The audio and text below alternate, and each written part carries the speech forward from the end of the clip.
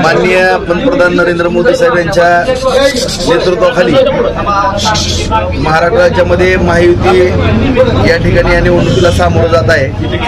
त्यामध्ये आदरणीय महाराष्ट्र राज्याचे मुख्यमंत्री शिंदे साहेब उपमुख्यमंत्री फडणवीस साहेब आणि अजितदादा साहेब. या तिन्ही नेत्यांनी माझ्या बाबतीमध्ये विचार करून या ठिकाणी कोणत्या पद्धतीने मी निवडणूक लढवावी या बाबतीचा निर्णय घेतला आणि या ठिकाणी मी शिवसेनेच्या माध्यमातून निवडणूक लढवण्याचा या ठिकाणी मला निर्णय दिला. त्या पद्धतीने मी निवडणूक महायुतीच्या माध्यमातून लढवतो. देखील काय कारण आहे की आपण म्हणले होते मागच्या पत्रकापैकी की मी भाजपतर्फे निवडणूक लढवतोय. पण काय अशी नेमकी परिस्थिती आली की आपल्याला धनुष्यबाण हातात घ्यावा लागला? परिस्थिती आली नाही. शेवटी आज आपण पाहतो की राज्यामध्ये महायुती असेल किंवा महाविकास आघाडी असेल. काही जागेच्या ज्या काही ॲडजस्टमेंट आहेत त्या माध्यमातून या ठिकाणी ही जागा या ठिकाणी शिवसेनेनं आणि शिंदेसाहेबाच्या माध्यमातून लढावी अशा पद्धतीचं नियोजन वरिष्ठ पातळीवरती करण्यात आलं. आणि सर्रास करून उबाटाविरुद्ध शिंदेसाहेब शिवसेना अशा पद्धतीच्या ज्या फाईट आहेत त्यापैकी हा एक धोरणात्मक निर्णय घेतला असावा. म्हणजे चुरशीची लढत आहे शिवसेना विरुद्ध शिवसेना अशी एकंदरीत लढत पाहायला मिळते. चुरशीची कसं म्हणता तुम्ही मला. पारंपरिक. पण चुरशीची लढत या ठिकाणी म्हणता येत नाही कारण आमच्या जी प्रतिस्पर्धी आहेत ते आता पावणे पाच वर्षानंतर ते बाहेर दिसतात लोकांना. त्यामुळं ह्याला चुरशीची निवडणूक म्हणूच शकत नाहीत कोणी.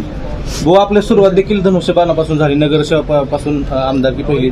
मग आता परत एकदा धनुष्यबाण मिळतं. काय वाटतं? निश्चितपणानं माझे वडील नगरसेवक झाले होते त्यावेळेस सुद्धा धनुष्यबाण या चिन्हावरती न- नगरसेवक झालेले होते.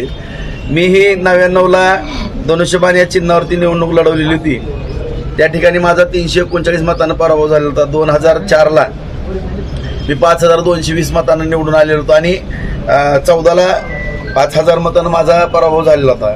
आणि असे एकंदरीत जवळपास आता तीन वेळेस मी या अगोदरही धनुष्यबाण या चिन्हावरती निवडणूक लढवलेत योगायोगानं परत एकदा धनुष्यबाण हे चिन्ह आमच्या प्रभू रामाचं श्रीरामाचं चिन्ह या ठिकाणी मला मिळतं ते माझे भाग्य आहे. भाऊ विधानसभेत तिरंगी लढत पाहायला मिळते. जरांगी पाटील हे आपला उमेदवार या ठिकाणी दाट शक्यता आहे. कसं पाहता त्याकडे? त्या गोष्टी काही मी आणखीन पाहिलेल्या नाहीत. नंतर जसे जसे समोर येतील त्या त्यावेळेस बघू. नेमका अजेंडा काय असणार आहे या निवडणुकीत आता प्रत्यक्ष समोर घेऊन जाताना? माझा मूळ अजेंडा जो आहे तालुक्याच्या बाबतीमध्ये मी राजकारणामध्ये समाजकारणामध्ये आल्यापासून या ठिकाणी माझ्या शेतकऱ्यांच्या शेतीला पाणी मिळालं पाहिजे माझ्या तरुणांच्या हाताला काम मिळालं पाहिजे. या दृष्टिकोनातून आणि सगळी दळणवळणाची साधनं या ठिकाणी अत्यंत चांगल्या पद्धतीची असली पाहिजे. या दृष्टिकोनातून या तालुक्याचं अर्थकरण वाढावं हा सातत्यानं प्रयत्न केलेला आहे. आणि आपल्या सर्वांनाच माहीत आहे की जवळपास चार हजार कोटीहून अधिकचा निधी आपण या ठिकाणी फक्त अडीच वर्षामध्ये माननीय शिंदेसाहेब माननीय फडणवीस साहेब आणि अजितदादा अजितदादा या सगळ्यांच्या माध्यमातून या ठिकाणी आणलेलं आहे. शिंदे साहेबांकडून बार्शीकरांसाठी काही मेसेज तुमच्यापाशी आलाय का? आता शिंदे साहेब स्वतः या ठिकाणी येतील वरिष्ठ पातळीचे सगळे नेते या ठिकाणी येतील त्या त्यावेळेस प्रचार सगळा व्यव विविध कार्यक्रमांसाठी दोन हजार चौरस फुटाचा AC banquet hall hotel Chitra executive. लग्न समारंभ रिसेप्शन वाढदिवस सेमिनार तसेच विविध बैठकींसाठी उपयुक्त असा सोलापूर शहराच्या मध्यवर्ती अशा सम्राट चौकातील हॉटेल चित्रा एक्झिक्युटिव्हमध्ये. पत्ता एकशे पंच्याण्णव बुधवार पेठ सम्राट चौक चिडगुप्पर हॉस्पिटल समोर सोलापूर.